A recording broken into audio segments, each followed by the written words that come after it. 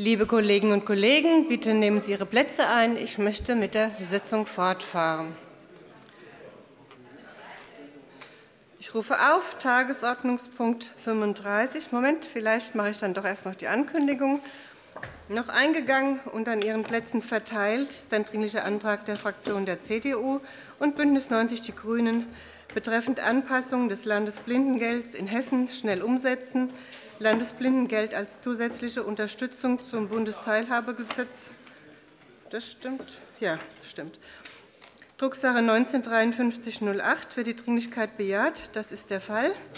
Dann wird dieser Dringliche Antrag Top 75 und kann, wenn dem nicht widersprochen wird, mit den Tagesordnungspunkten 14 und 54 zu diesem Thema aufgerufen werden. Weiter eingegangen und an Ihren Plätzen verteilt ist ein Dringlicher Entschließungsantrag der Fraktionen der CDU und BÜNDNIS 90 die GRÜNEN betreffend sichere, bezahlbare und nachhaltige Energieversorgung, Drucksache 19-5309.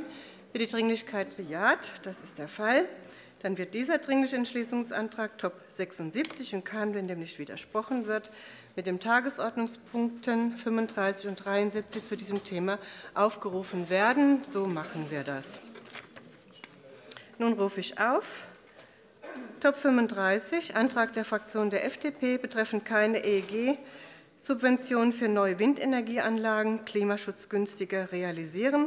Drucksache 19-4897 wird aufgerufen mit Top 73, dem Dringlichen Antrag der Fraktion der FDP betreffend Bürgerwille endlich achten, Windkraftausbau stoppen.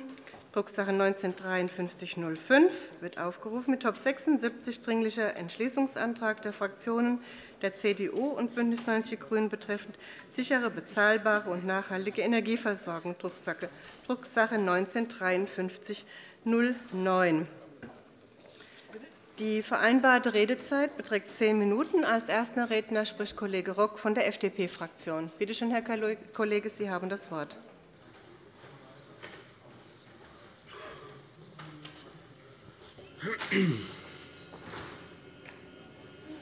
Frau Präsidentin, sehr geehrte Damen und Herren! Wir haben heute die Energiepolitik auf die Tagesordnung gesetzt. Und Sie wissen, die Haltung der Freien Demokraten zur Energiepolitik, ganz speziell auch zum Ausbau der Windkraft in unseren hessischen Wäldern, ist hier eine besondere im Hessischen Landtag, weil wir die Einzigen sind, die das hier ablehnen. Äh, Sie wissen auch, dass wir hervorragende Argumente dafür haben, dass wir diese Energiepolitik, diese falsche Energiepolitik ablehnen. Ich will sie Ihnen noch einmal erläutern. Und, äh, Sie wissen, dass wir mittlerweile über oder rund 30.000 Windkraftanlagen in Deutschland errichtet haben. Unser Minister muss ich sagen, also Herr Wirtschaftsminister, auch wenn Sie wissen, dass ich der Meinung bin, dass er das Thema Wirtschaft nicht im Fokus seiner Tätigkeit hat, hat das ja bejubelt, dass wir jetzt 1.000 Windkraftanlagen in Hessen errichtet haben. 80% dieser Anlagen stehen in unseren Wäldern und zerstören, und zerstören unsere Landschaft und unsere Natur. Was bringen diese 30.000 Anlagen? Wenn der Wind weht, wissen wir nicht, wohin mit dem Strom. Und wenn der Wind nicht weht, dann müssen eben die Kohlekraftwerke wieder ran. Jedes weitere Windrad, das wir bauen, vor allem auch hier in Hessen, verschlimmert nur die Situation.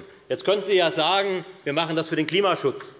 Jeder, der die Feinheiten der Klimapolitik in Europa kennt, weiß, dass wir einen CO2-Deckel haben. Der weiß ganz genau, in Europa ist der CO2-Ausstoß gedeckelt. Also tragen diese Anlagen europaweit nicht zu einer Verbesserung des Klimaschutzes bei. alle Fachleute erklären uns ja auch immer, das Erneuerbare Energiengesetz, die grüne Energiepolitik in Deutschland machen den Klimaschutz einfach nur teurer. Einfach nur teurer. Und jetzt hätte vielleicht irgendeiner einmal hier argumentieren können, ja, aber vielleicht in Deutschland gibt es eine Tonne CO2 weniger Ausstoß. Aber Sie wissen auch, der CO2-Ausstoß in Deutschland stagniert, und zum Teil steigt er sogar wieder. Und das, und das und das natürlich wegen der Systematik des EEGs. Die effizientesten, Energie, äh, die effizientesten Gaskraftwerke gehen vom Netz, und die Braunkohle läuft weiter. Sogar real in Deutschland selbst erzielen Sie mit diesen irrsinnigen Subventionen äh, von 25 Milliarden € keinerlei Klimaschutzeffekte mehr. Darum, diese Politik muss beendet werden. Das sind aber Das sind aber die Themen, die Sie von uns kennen. Das ist das, was Sie wissen, dass wir es hier vertreten. Aber es gibt zwei weitere Aspekte, die ich heute ganz besonders in den Fokus stellen möchte. Das eine ist in einem Antrag niedergelegt, der Ihnen vorliegt.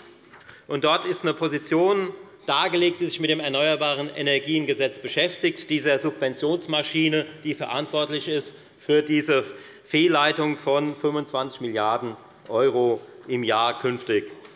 Dieser Antrag ist nichts anderes als die Beschlussfassung im Kern, äh, den die äh, CDU in Hessen beschlossen hat. Die CDU in Hessen hat beschlossen, sie möchte sich vom EEG verabschieden.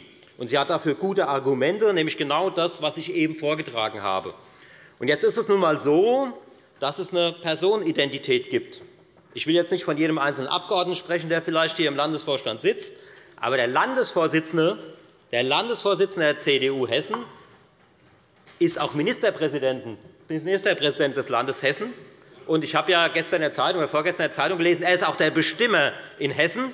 Und darum haben wir uns natürlich gefragt, das äh, hat uns gar nicht gefallen, Herr Boddenberg. Wir fanden das eher ziemlich deplatziert in der Debatte, in der wir uns zurzeit in der wir uns äh, zurzeit äh, befinden. Darum wollen wir erst einmal heute wissen, wenn Sie über diesen Antrag abstimmen, ist die CDU in Hessen der Bestimmer, und wer ist Volker Bouffier? Ist er Landesvorsitzender und gegen das Erneuerbare Energiengesetz, oder ist er Ministerpräsident des Landes Hessen und stimmt hier für, das, äh, für die Beibehaltung des Erneuerbaren Energiengesetzes?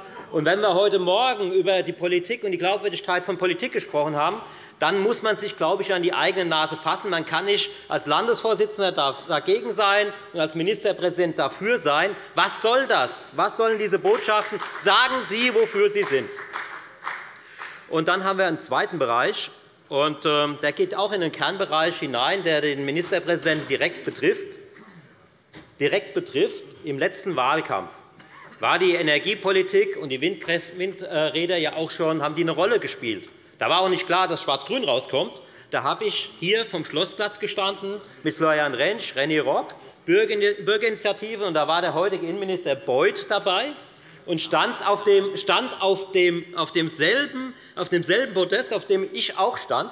Und der Minister, heutige Minister Beuth hat da aus meiner Sicht sehr kluge Worte, sehr gute Worte zur Windkraft gefunden. Er hat sie nämlich abgelehnt. Heute gehört er einer Regierung an, die diese Windkraft durchsetzt, und zwar mit hessischer Polizei, für die er jetzt die Verantwortung trägt. Herr Beuth stand vor der Wahl vor dem, vor dem Hessischen Landtag, sprach gegen die Windkraftanlagen, und heute lässt er sie mit seiner Polizei durchsetzen. Das ist eine Erkenntnis, die man den Bürgerinnen und Bürgern ja nicht vorenthalten darf. Und darum will ich jetzt aber zu dem Ministerpräsidenten noch einmal kommen. Der Ministerpräsident des Landes Hessen hat vor der ja, bitte, Herr Wagner, gerne. Also, Entschuldigung, Frau Präsidentin. Einen Moment, da habe ich auch noch etwas mitzureden, aber Sie lassen Herrn Wagner das Wort zu. Bitte. Herr Rock, ist es denn nicht richtig, dass die Grundlagen für den Ausbau der Windkraftanlagen von Ihrem früheren Minister Florian Rentsch unterschrieben sind? Und wenn Sie anderen hier Wendigkeit vorwerfen, Sie am ehesten sich einmal an Ihre eigene Nase fassen müssten? Sie wissen doch ganz genau, dass Sie diejenigen waren, die uns erklärt haben, das wäre noch viel zu schlimm, das würde die Energiewende verhindern. Fassen Sie sich doch einfach einmal die eigene Nase. Wir haben unsere Lehren nach der wir haben unsere Lehren nach Fukushima gezogen. Wir haben uns hier positioniert. Wir haben Parteitagsbeschlüsse getroffen, und wir haben uns klar gesagt, das war ein Fehler. Das wollen wir so nicht mehr. wir haben uns da neu aufgestellt. Das haben wir den Bürgerinnen und Bürgern zur Abstimmung gestellt. Und dafür kriegen wir eben auch Stimmen. Bei uns weiß man, für was wir heute stehen. Bei der CDU weiß ich nicht, für was sie heute steht. Sie steht in, Wiesbaden für die Windräder. Ich weiß nicht, wo Sie damals getagt haben im Landesvorstand. Da sind Sie dagegen. Das wollen wir heute wissen. Stimmen Sie unseren Antrag zu, die Unionskollegen, dann wissen wir, sind Sie für das Erneuerbare Energiegesetz oder dagegen. Das ist wichtig. Aber für mich ist noch einmal ganz wichtig, ganz wichtig die Frage der Akzeptanz dieser Politik noch.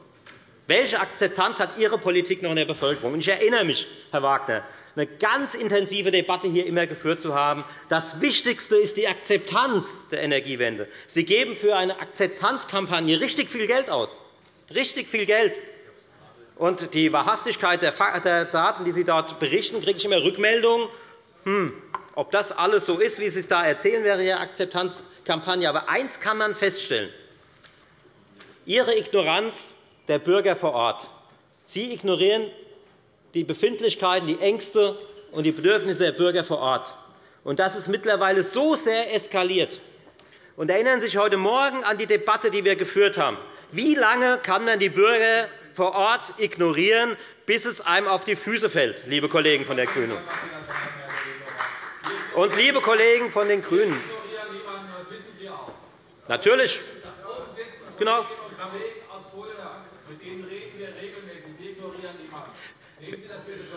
Lieber Herr Boddenberg, ich würde Sie bitten, Erklären Sie mir hier an diesem Pult, wie die CDU im Landesvorstand gegen das EEG sein kann und hier in der Regierung dafür. Das würde ich gerne einmal hören, wie Sie mir das erklären. Und dann können Sie auch dazwischenrufen und mir Vorhaltungen machen, dass ich äh, fälschlicherweise behaupten würde, Sie hören nicht wirklich zu.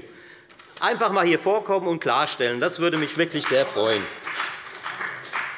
Und wie weit ist es jetzt gekommen mit der Akzeptanz der Energiewende?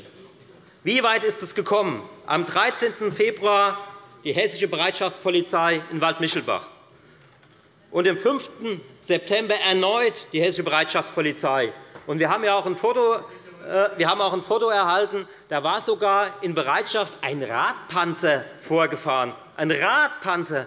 Also, ich muss ehrlich sagen, ich muss ehrlich sagen die Verhältnismäßigkeit die müssen Sie sich mal, oder den Eindruck, den Bürgerinnen und Bürger haben, wenn der Staat so auftritt. Ich kann mich an keine Vielleicht kann der Innenminister sagen, da gab es Gewalttaten. Dann entschuldige ich mich hier. Wenn der Innenminister erklärt, warum er in der Art und Weise auftreten muss, dann werde ich mich sofort hier entschuldigen, wenn Sie mir sagen können, dass die, dass die, Windkraft, die Windkraftgegner an der Stelle, dass die Windkraftgegner an der Stelle womöglich ein Gewaltpotenzial haben. Oder wenn Sie das, wenn Sie das hier vortragen können und belegen können, dann sage ich, okay, dann äh, hat das alles Sinn von mir aus. Aber Sie müssen doch erkennen, dass Ihre Politik mittlerweile auf massiven Widerstand bei der Bürgerschaft äh, trifft. Darum, liebe Kolleginnen von den GRÜNEN, liebe Kolleginnen und Kollegen von den GRÜNEN, wir haben jetzt eine Bundestagswahl hinter uns. Sie haben, Sie haben, Sie haben Ihre Energiepolitik in den Fokus allen gestellt, für das Sie stehen. Das war Ihr größtes Aushängeschild. Sie sind die kleinste Fraktion Kollege, im Deutschen Bundestag geworden. Und vielleicht überlegen Sie einmal, ob das auch daran liegt, letzter Satz, ob das nicht auch daran liegt, dass Sie mittlerweile die Bürger vor Ort einfach ignorieren und ihrer Ideologie unterordnen. Machen Sie die Augen auf, nehmen Sie die Bürger ernst, und dann wird es auch wieder besser für Sie. Vielen Dank. Danke, Herr Kollege Rock. Als nächste Rednerin spricht Frau Kollegin Dorn von BÜNDNIS 90 die GRÜNEN. Bitte schön, Frau Kollegin, Sie haben das Wort.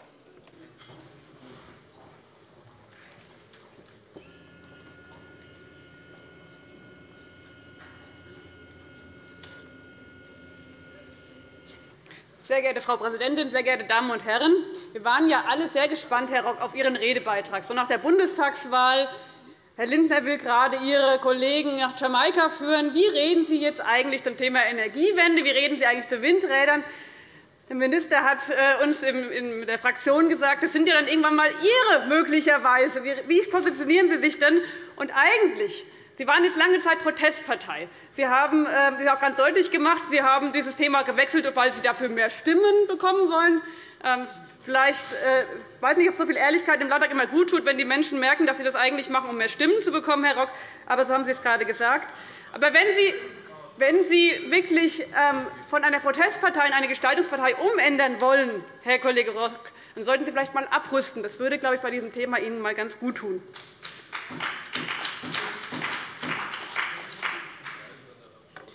Der erste Punkt ist, wollen Sie eigentlich wirklich die ewigen Vertreter der alten Energiewirtschaft sein? Wollen Sie da nicht einmal langsam abrüsten? Die alte Energiewirtschaft, die großen Energiekonzerne Kohlekraft, ist das wirklich für die FDP ein Zukunftsmarkt? Ist das wirklich so? Und Sie haben doch immer auf Ihre allen Plakate geschrieben, denken wir neu. Das würde ich mir von Ihnen einmal wünschen. Denken Sie doch einmal neu. Wollen Sie wirklich auf der Seite der Kohlekraft stehen, Herr Kollege Rock? Deutschland ist eines von fünf Ländern in Europa, die die Klimaschutzziele nicht einhalten werden. Wir haben beim Thema erneuerbare Energien weltweit haben wir Rekordinvestitionen, viel stärker als bei Kohlekraft. Und was passiert in Deutschland? Was passiert in Deutschland, Herr Rock? 43% Markteinbruch. Und was fordern Sie jetzt? Sie fordern, dass das Erneuerbare Energiengesetz abgeschafft werden soll.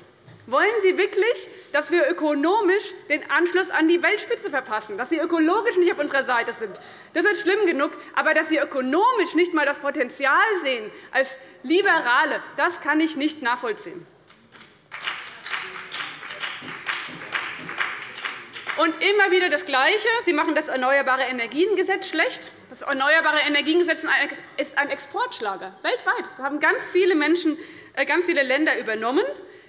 Wir haben selbst nicht als GRÜNE gedacht, dass es die erneuerbaren Energien so schnell voranbringt, dass wir so, äh, so effizient sind. Und wenn man sich heute die Anlagen für erneuerbare Energien, Herr Kollege Rock, mittlerweile die neuen Energieanlagen Photovoltaik und Windkraft sind günstiger als neue Kohlekraftwerke. Sie müssen sich einmal mit der Materie so auseinandersetzen. Dann merken Sie auch, das war ein hocheffizientes Instrument. Das ist ein hocheffizientes Instrument. Und es gibt keinen Grund, Herr Kollege Rock, das jetzt zu beenden. Sie haben über die Frage Akzeptanz gesprochen. Das fand ich gerade ganz besonders äh, interessant beim Thema Atomenergie haben die Liberalen nie über die Frage Akzeptanz gesprochen. Die große Mehrheit in diesem Land hat sich damals den Ausstieg aus der Atomenergie gewünscht und den Einstieg in die erneuerbaren Energien. So kam es dann endlich auch nach Fukushima. Wir hätten das nicht gebraucht. Es gibt immer noch eine riesengroße Mehrheit alle Umfragen zeigen das, die für den Ausbau von erneuerbaren Energien stehen, auch für den Ausbau von Windkraft und auch vor Ort. Herr Kollege Rock, Sie reden für eine kleine Minderheit in diesem Land und nicht für die Mehrheit. Und jetzt ähm, noch einmal ein Punkt zum Abrüsten. Sie haben auch in Ihrem Antrag wieder so ein paar äh, Thesen vertreten. Sie verkürzen Sachverhalte immer so stark, bis irgendwann am Ende etwas Falsches herauskommt. Ihre erste These ist, wenn wir das EEG jetzt abschaffen, so wie es ist, dann werden die Strompreise günstig, also für alle neuen Energieanlagen. Aber was Sie nicht schreiben, Herr Kollege Rock, ist, dass ja das Problem, wenn es existiert, die alten Anlagen sind. Die neuen, habe ich ja gerade schon dargestellt, sind die günstigen. Das heißt, Sie könnten nur ein EEG so machen, so abschaffen, dass es die neuen Anlagen betrifft. Und den ganzen, die ganzen alten Anlagen, die ganzen Verpflichtungen hätten Sie noch mit drin. Der zweite Punkt. Selbst wenn, wenn man jetzt überlegen würde, für die neuen Anlagen, so wie Sie schreiben, das zu machen, es gibt Vertrauensschutz. Wer sagt Ihnen, dass rechtlich das überhaupt möglich ist? Sie Sie streuen den Menschen Sand in die Augen, wenn Sie so tun, als ob Sie einfach jetzt von heute auf morgen das EEG abschaffen können. Sie stehen jetzt kurz davor, in der Bundesregierung möglicherweise Verantwortung zu übernehmen. Da können Sie doch nicht Anträge stellen, die hinten und vorne gar nicht gehen, Herr Kollege Rock. Der zweite Punkt. Sie sagen immer wieder, Kohlekraft wäre günstiger für Industrie, für Verbraucher. Wir haben sozusagen es damals beim Erneuerbaren Energiengesetz so gemacht, dass wir es transparent gemacht haben. Die ähm, Bürgerinnen und Bürger sehen auf ihrer Stromrechnung, was kostet der Ausbau für erneuerbare Energien. Was aber damals nicht gemacht worden ist, ist transparent zu machen, was eigentlich Kohle kostet. Und, Herr Kollege Rock, Sie haben ja ganz richtig geschrieben, in Ihrem Antrag 25 Milliarden € wurden ausgegeben für den Ausbau der erneuerbaren Energien im EEG. Was aber Tatsache ist, und da zitiere ich nicht ähm, die GRÜNEN, sondern den Internationalen Währungsfonds. Ich glaube, da müssten wir uns einig sein, dass die ähm, Dinge aufschreiben, die auch richtig sind und gut fundiert sind. Deutsche Subventionen lagen bei 49,2 Milliarden € für fossile Energien. Das ist fast doppelt so hoch wie für erneuerbare Energien in Deutschland. Kohlekraft ist nicht günstiger als erneuerbare Energien. Das ist einfach unwahr. Das einzige Problem ist, dass es innerhalb der der Steuern äh, gemacht wurde, ist nicht auf dem Strompreis. Die Verbraucher haben trotzdem das Gleiche bezahlt, und zwar doppelt so viel. Also, Kollege Herr Rock, Ihr Vorschlag würde erstens nicht viel bringen. Er wäre für die Energiewende absolut problematisch. Und Sie würden die erneuerbaren Energien jetzt auf einen Wettbewerb bringen, der überhaupt nicht fair wäre. Ich habe es gerade gesagt. Da stellen Sie sich einen Marathonläufer vor. Die behäbigen Kohlekraftwerke wurden ganz früh äh, an den Start gebracht, gut versorgt mit Wasser, mit Nährstoffen. Irgendwann wurden die erneuerbaren Energien auch einmal reingelassen zum Marathonlauf, mussten sozusagen äh, nachholen. Und jetzt kurz vor knapp, wo gerade sozusagen der sportliche erneuerbare Energien-Marathonläufer dem Kohlekraft hinterherkommt, kurz davor wollen Sie ihm das Wasser entziehen. Das macht doch keinen Sinn. Das ist doch kein Wettbewerb, was Sie hier tun. Der dritte Punkt. Es braucht Vorschläge. Achso, doch den dritten Punkt, den Sie immer wieder behaupten, das Erneuerbare Energiengesetz würde ja nichts für Klimaschutz bringen, wegen dem CO2-Deckel und der Frage EU-Emissionshandel. Also, zum einen, erneuerbare Energien würden den Ersatz für Kohlekraftwerke bieten und würden natürlich den CO2-Deckel mit denen kann man den absenken, den Deckel. Ohne erneuerbare Energienanlagen kann man den Deckel nicht absenken. Und dass Sie, gerade Sie, immer wieder den Emissionshandel kritisieren, in der letzten schwarz-gelben Bundesregierung waren Sie es, die den Zertifikatehandel ähm, auf EU-Ebene eben nicht modernisieren wollten. Sie haben es blockiert. Damals war die CDU damals dafür. Sie waren dagegen. und Deswegen konnte in Deutschland, in Europa eben nicht die Stimme erhoben werden, dass endlich ein gescheiter Zertifikatehandel herauskommt. Dass Sie sich jetzt hinstellen, das kritisieren, das ist schon abenteuerlich, Herr Kollege Rock. So, und bei, einem Punkt sind wir sogar bei Ihnen, dass es für den Stromkunden im Moment ziemlich schwierig ist, zu durchschauen was da eigentlich gerade Sache ist. Und es ist wirklich eine, Situation, die schwierig ist zu erklären, warum erneuerbare Energien immer günstiger werden ja, und gleichzeitig man mehr ausgeben muss für die Förderung von erneuerbaren Energien. Das ist im EEG so angelegt, ja, dass man auch die alten Anlagen mit drin hat. Und der zweite Punkt, der viele Menschen äh, wundert, ist, wie kann es eigentlich sein, der Strom wird immer klimafreundlicher, aber die Abgaben auf den Strom die werden immer mehr.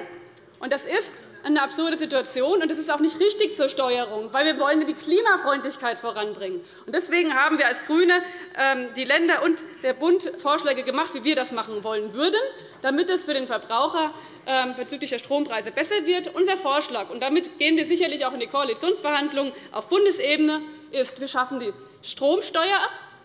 Wir reduzieren die EEG-Umlage, indem wir einerseits die Ausnahmen begrenzen, dass wirklich nur noch die energieintensive und im internationalen Wettbewerb stehende Industrie ähm, wollen wir entsprechend ja, wollen wir die Ausnahmen begrenzen und die restlichen Ausnahmen, die wirklich die Industrie, die energieintensiv ist und im internationalen Wettbewerb steht, dass man das nicht mehr über das EEG und damit über den Steuerzahler, sondern über den Bundeshaushalt löst.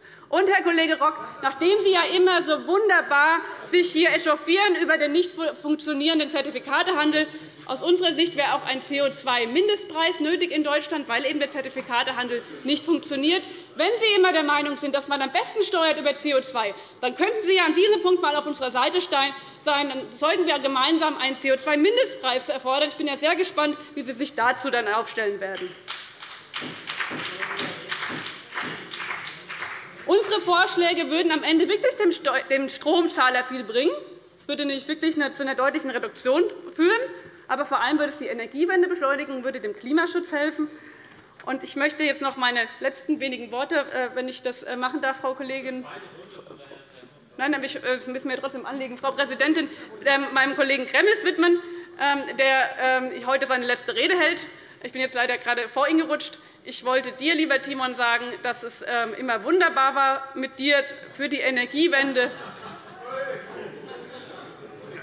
Es ist immer, steht man als Frau da vorne und möchte einem Mann etwas sagen, dann kommen solche Sprüche.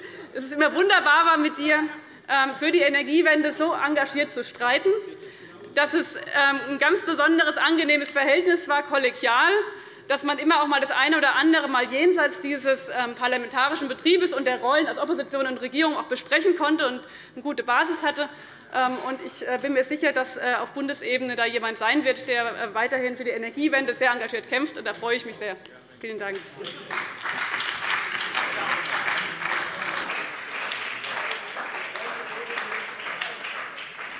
Vielen Dank, Frau Kollegin Dorn. Als nächster Redner spricht nun Kollege Gremmels. Herr Kollege, Sie haben das Mikrofon. Ich freue mich, dass wir heute noch einmal Ihre Stimme hier im Hessischen Landtag hören können. Meine Damen und Herren, Frau Dorn, vielen Dank für die netten Worte, liebe Angela. Aber es war sehr geschickt. Jetzt musste meine ganze Fraktion am Ende klatschen. aber gut gemacht. Äh, ja, äh, meine sehr verehrten Damen und Herren, ich möchte mich aber auch nicht nur bei Angela Dorn bedanken für die netten Worte, sondern auch bei der FDP und bei dir, lieber René, äh, dass du noch einmal mir die Chance gibst, mit eurem Setzpunkt heute zum Thema EG zu reden. Das war sehr großzügig. Günter Rudolph hat das hätte mir heute Morgen keine Redezeit gegeben. Insofern danke auf die FDP ist in der Frage verlassen. Meine sehr verehrten Damen und Herren, aber es ist auch noch einmal nötig, weil äh, ich bei der FDP habe ich das Gefühl, dass die letzten acht Jahre woanders waren, weil die, die Diskussion, die wir hier geführt haben über die Frage EG und wie es funktioniert und was der Unterschied zwischen einer Steuer, einer Abgabe und einer Umlage ist, ich glaube, Herr Rock, entweder Sie haben es nicht verstanden oder Sie wollen es nicht verstehen. Insofern haben Sie jetzt noch einmal eine gute Gelegenheit.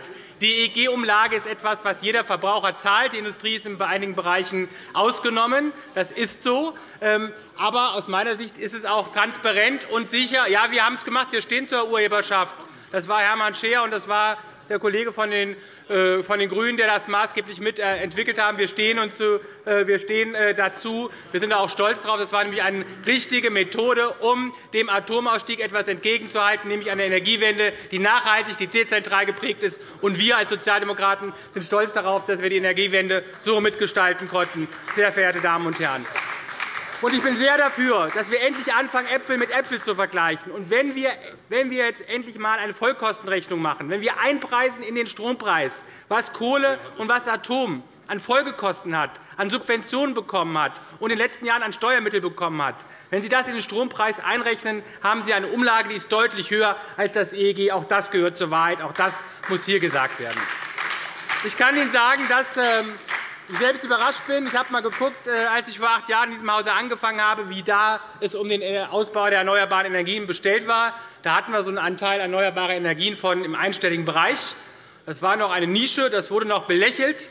Heute sind wir bei 25 bis 30% je nach Region Anteil erneuerbarer Energie an der Stromerstehung. Das ist aus meiner Sicht der richtige Weg. Wir wollen nachhaltig, wir wollen erneuerbar, und wir wollen auch eine Industrie. Wir wollen erneuerbare Energien, die Arbeitsplätze schaffen vor Ort, gut bezahlte Arbeitsplätze, die hier geschaffen werden. Das hat auch etwas mit Energiewende zu tun, so wie wir sozialdemokratisch äh, uns vorstellen.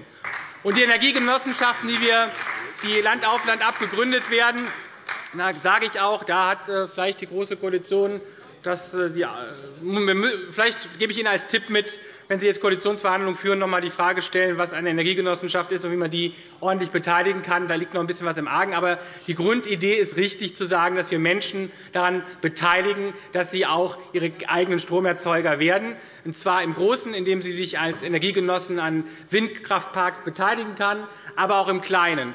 Weil, Herr Rock, es ist doch ein Ammärchen, was Sie hier verbreiten, dass Strom immer teurer wird. Sie können das auch preiswert haben.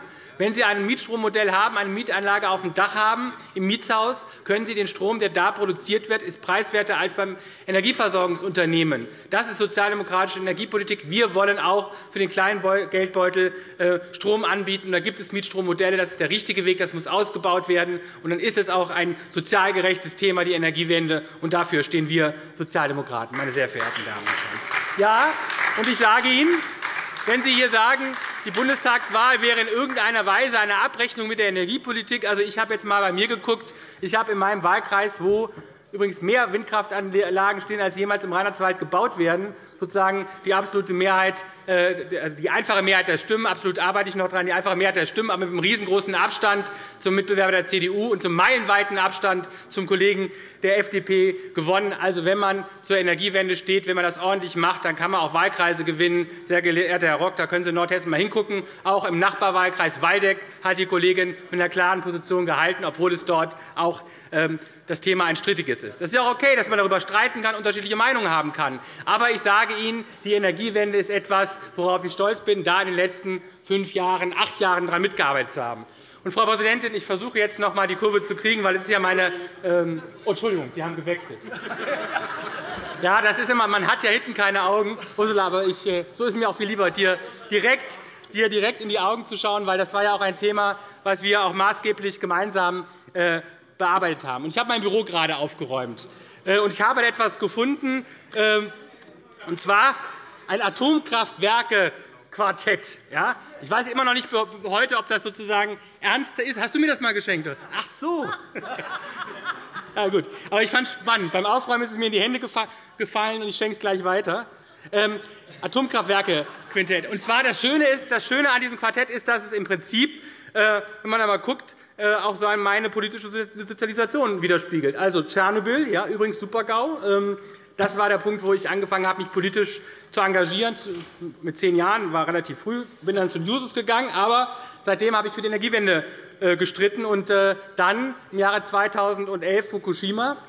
Fukushima ähm, das war zum einen ein großes Drama und eine Riesenkatastrophe. Aber als äh, sage ich jetzt auch an dieser Stelle, es war für mich als neuen Oppositionsabgeordneten auch eine Chance, in einem Bereich mitzuarbeiten, dass wir dann in eine aus meiner Sicht Man kann über alle Formen streiten, aber doch es hinbekommen haben, hier in Hessen auch äh, uns vom Atomkraftwerk Biblis zu trennen und diese Kraftwerke abzuschalten. Das war der richtige Weg. Und ich sage hier ganz selbstbewusst, das war auch eine sozialdemokratische Errungenschaft. Da haben wir, meine Kollegen, ich, mein Kollege Norbert Schmidt und viele andere mehr über. Ja, das ist also es ist ja gerade spannend, dass gerade die CDU jetzt hier aufmault, wenn ich sage, dass es, unser, dass es mit unser Erfolg war. Ich, ich habe heute,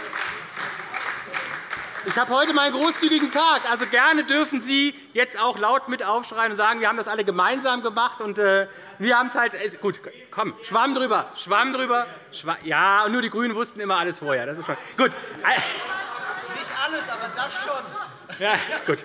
Alles gut. Ich bin heute, ich habe meine letzte Rede hier im Hessischen Landtag. Ich bin, bin großzügig. Ich kann nur sagen, es wird für mich in meiner Rückblick auf die acht Jahre Landtag war das eine sehr, sehr spannende Zeit. Und ehrlich gesagt, ich fand es auch sehr spannend damals äh, in der Arbeitsgruppe, die Frau Puttrich und Herr Al-Wazir äh, geleitet haben zum Hessischen Energiegipfel. Ich, seitdem war mir eigentlich klar, dass Schwarz-Grün eine Option in Hessen ist. Also, ich war nicht so völlig überrascht. Ich saß ja mit Herrn Rock, wir saßen ja Seite an Seite und haben uns da mal, ja, genau. so, gut. Aber das war eine spannende Zeit. Es hat auch ich habe viel gelernt, und äh, es waren auch immer kollegial sehr schöne Zeiten. Und wir hatten auch immer guten Austausch. Und was ich auch wichtig und gut fand, ist, dass ich in all den Jahren noch keinen Ordnungsruf bekommen habe. Ich äh, bin ja auch einer, der eher temperamentvoll. Ja, ich will es auch heute nicht provozieren. Das hebe ich mir für den Bundestag auf, den Ordnungsruf. Äh, ich möchte mich bei allen Kollegen ganz herzlich bedanken. Und eines ist mir noch wichtig, weil man kann aus der Opposition heraus etwas bewegen. Opposition ist nicht nur Mist. Ja? Opposition macht auch Spaß, und man kann auch etwas bewegen. Ich erinnere mich, Frau Puttrich ist leider nicht, nicht da, aber ich erinnere mich, ich erinnere mich, äh, Marc Weinmeister weiß das auch, äh, an eine Geschichte.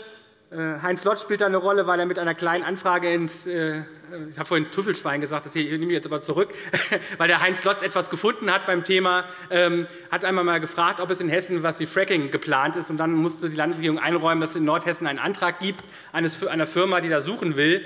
Und wir haben dann äh, mit parlamentarischen Tricks es geschafft, eine Anhörung des Hessischen Landtags in Kassel äh, im Regierungspräsidium durchzuführen. Wir hatten vorher eine immens große Demo vor dem Raum. Ich glaube, das ist die einzige Anhörung, die ich in den acht Jahren erlebt habe, wo die Ministerin, so war mein Gefühl, reingeht mit dem Willen, äh, das Fracking-Verfahren durchzuziehen und rausgegangen ist mit der Überzeugung, das Fracking-Verfahren zu stoppen. Ich man hat unterschiedliche Wahrnehmungen. Jetzt, jetzt schon, ich versuche doch hier gerade Brücken zu bauen.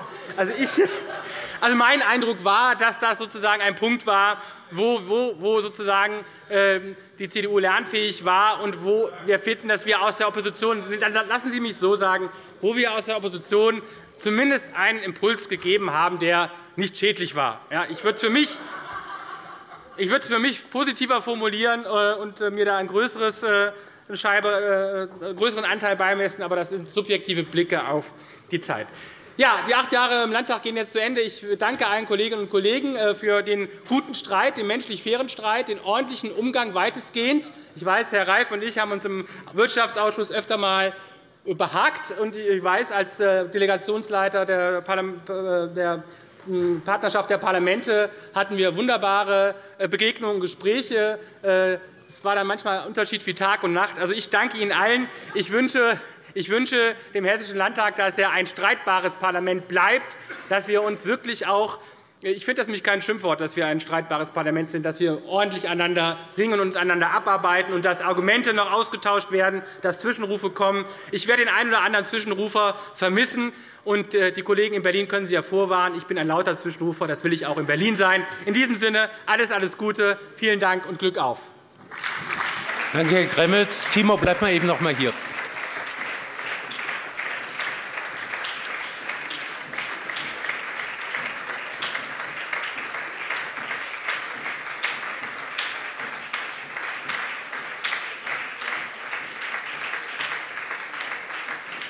Es ist offensichtlich die letzte Rede des Abg. Gremmels. Und für das Amt, das ich jetzt hier gerade einmal vertrete, also für den Hessischen Landtag, damit du auch in Berlin weißt, was die Stunde geschlagen hat. Und ich habe leider keinen Anlass gefunden, dich zu rügen. Bitte sehr.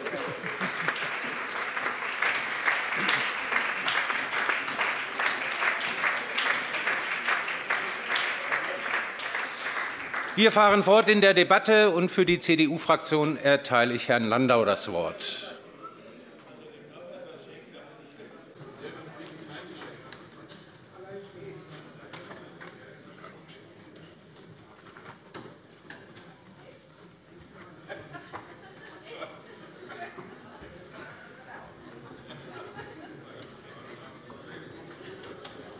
Präsident, liebe Kolleginnen und Kollegen! Bis zum Jahr 2000, als das EEG erstmals in Kraft trat, nahmen die erneuerbaren Energien ja, ich will mal sagen, ein Nischendasein ein. Und mit dem Gesetz wurde gleichsam, man kann das schon mit äh, der Dampfkraft vergleichen, setzte eine Art industrielle Revolution ein, und man schaffte es, dass diese nachhaltige Energieerzeugung in der Folgezeit einmal für den Massenmarkt kompatibel wurde und auch finanzierbar wurde. Das war die Ausgangssituation, die ich hier einfach deshalb mal gerne vortragen will, weil sie sozusagen in der Momentaufnahme, die die FDP für heute liefert, eigentlich nicht vorkommt. Also, ich will damit einfach nur das EEG mit all seinen Verwerfungen, die es möglicherweise hat, auch ein ganzes Stück weit würdigen. Das EEG hatte damals und es hat heute immer noch eine Rolle zu spielen. Wir haben uns mit ihr auf den Weg in die Energiewende begeben. Es war sozusagen das Leitwerk der Energiewende. Aber wir können natürlich heute auch feststellen, und insofern hat die FDP natürlich auch nicht völlig Unrecht, die Situation von damals und heute hat sich verändert. Es sind damals Ziele formuliert worden, wo wir heute feststellen können, dass wir sie zu einem großen Teil erreicht haben. Aber, und deshalb, ich hatte es ja gesagt, ein Stück weit brauchen wir das EEG noch, weil wir noch nicht alle Ziele vollständig erreicht haben. Aber wir müssen natürlich nach vielen Jahren jetzt erkennen, dass es an der Zeit ist, das EEG zu modifizieren und den aktuellen Verhältnissen anzupassen. Wir können heute erst einmal feststellen, es liefert 200 Milliarden, äh, ja, 200 Milliarden Kilowattstunden Energie.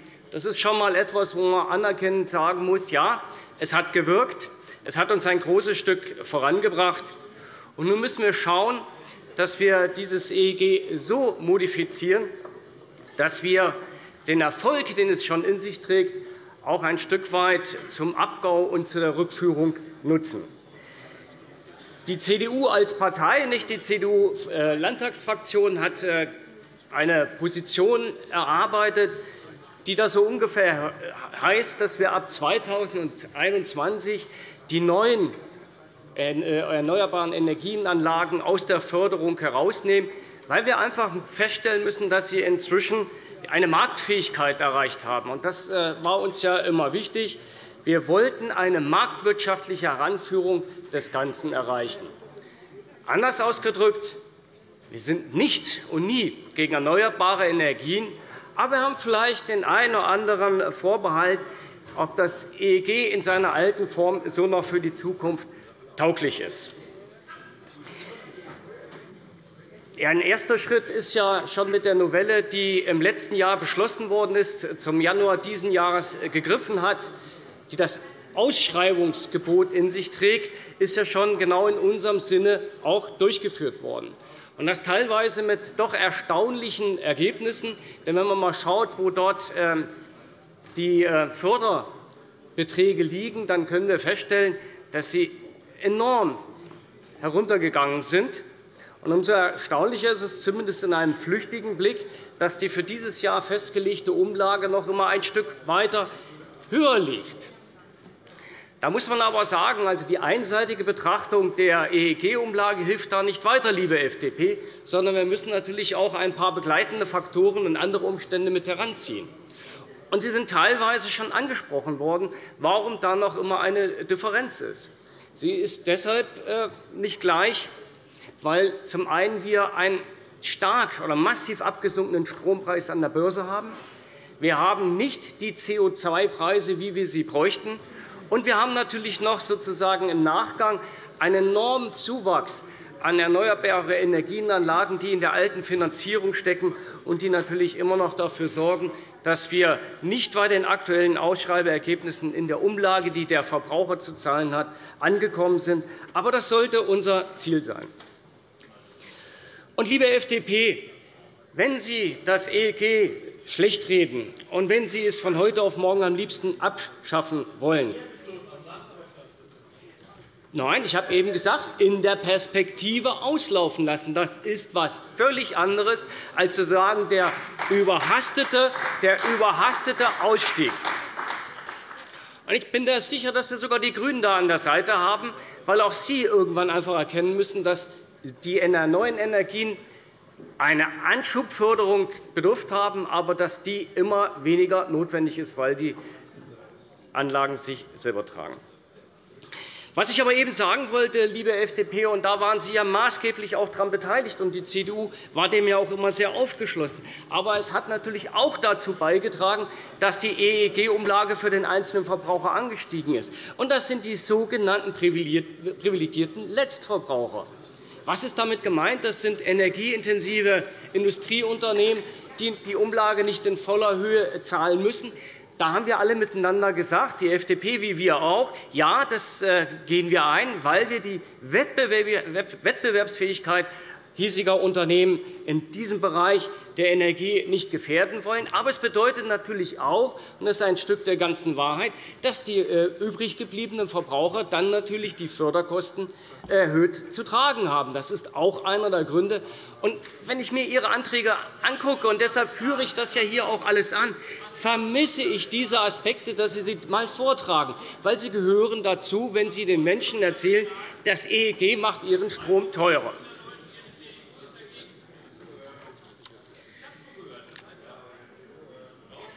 Lassen Sie mich Lassen Sie mich zum Schluss noch ein wenig zu dem zweiten Antrag sagen, den Sie dann jetzt noch eingebracht haben. Also, da muss ich sagen, haben Sie mir schlicht die Luft vom Reifen gelassen. Also, so einen Antrag hier einzubringen, also, da hätte ich Ihnen mehr Stil und anderes zugetraut als äh, das, was Sie da mit dem Antrag da geäußert haben.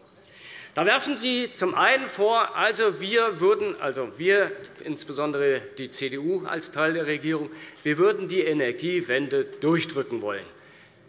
Sie haben es ja noch einmal gesagt, wir hören nicht auf den Bürger, auf die Vorbehalte, die Einwände, die Bedenken der Bürger, sondern wir drücken es durch. Da will ich Ihnen erst einmal sagen, wir hier in Hessen haben uns mit der FDP zusammen auf den Weg gemacht. Sie haben am Energiegipfel mitgearbeitet. Sie haben dem 2-%-Ziel zugestimmt. Ich verstehe nicht, warum Sie das heute irgendwie vergessen wollen. Oder doch? Sonst würden Sie nicht zu solchen Äußerungen kommen. Und wir haben uns damals wir haben uns damals auch darauf verständigt, dass wir den Bürger mitnehmen wollen, dass wir ihn frühzeitig beteiligen wollen, frühzeitig informieren wollen. Und wir haben die, äh, äh die, die äh, wie heißt sie noch? Jetzt komme ich nicht drauf eine, eine Plattform auf jeden Fall geschaffen, wo wir die Bürger über all das, was die Energiewende bedeutet, auch für sie letztlich bedeutet, informieren. Und ähm, ihnen auch sagen, wie die nächsten Schritte aussehen und auch eine Plattform haben, um mit Ihnen in die Diskussion einzutreten. Das haben wir gemacht. Insofern können Sie uns nicht äh, vorwerfen, dass wir da überhaupt nicht darauf eingehen. Ein Zweites will ich sagen, und das ist noch Hanebüchner, wenn Sie am Ende eigentlich, Sie haben es nicht so formuliert, aber ich sage es einmal mit scharfen Worten, am Ende sagen, wir nutzen dann noch Polizeigewalt, um äh, Baustellen äh, für erneuerbare Energieanlagen dann gegenüber dem Bürger und vielleicht äh, protestierenden Bürgerinitiativen durchzudrücken. Also so eine Äußerung von der selbsternannten Rechtsstaatspartei finde ich höchst bedenklich. Denn Sie führen, Sie, führen ja, Sie führen ja an anderer Stelle immer völlig zu Recht aus, dass wir uns an Recht und Gesetz halten müssen. Und wenn jetzt eine Windkraftanlage äh, im Wald errichtet wird, und alle Genehmigungen vorliegen, Gerichtsbeschlüsse positiv für dieses Projekt ausfallen und dann aber eine Verhinderung von Bürgerinitiativen vor Ort stattfindet, dann muss am Ende schon auch erlaubt sein, dort mit äh, polizeilich tätig zu werden.